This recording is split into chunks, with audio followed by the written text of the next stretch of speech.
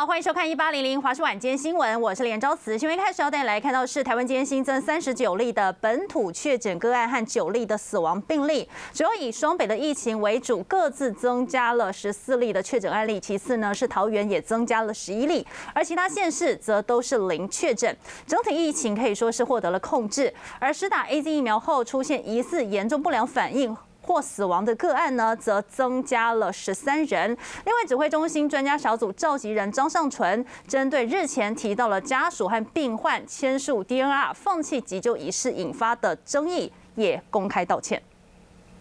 距离三级警戒剩下五天，指挥中心指挥官陈时中手上的数据更是降级解封的关键。七月七号新增本土三十九例，死亡九例，双北各十四例，桃园十一例，其他县市都是零确诊。回顾过往，五月十五率先公布双北三级警戒，当时有七个县市出现确诊个案。五月十九宣布全国三级警戒，则增加到了十个县市。六月七号苗栗金源电子厂群聚，县市数更来到十二个。随着疫情的控制，七月七号更罕见的只剩下三个县市：双北和桃园。比昨天多哈。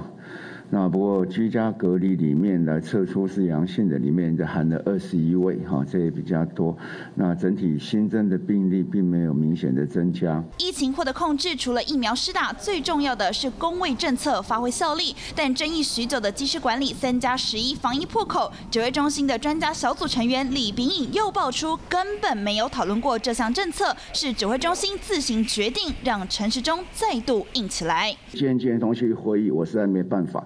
好，我这一年来每天要开的会议、要决定的事情是非常的多，我就是负最后的责任。同样来自专家小组的召集人张尚纯，则因为对死亡个案增加的解释不当，引发争议，郑重公开道歉。他签署 DNA 其实是一个很严谨的过程。前天的报告，我的表达用词不够精准或不够恰当，我还是要说抱歉。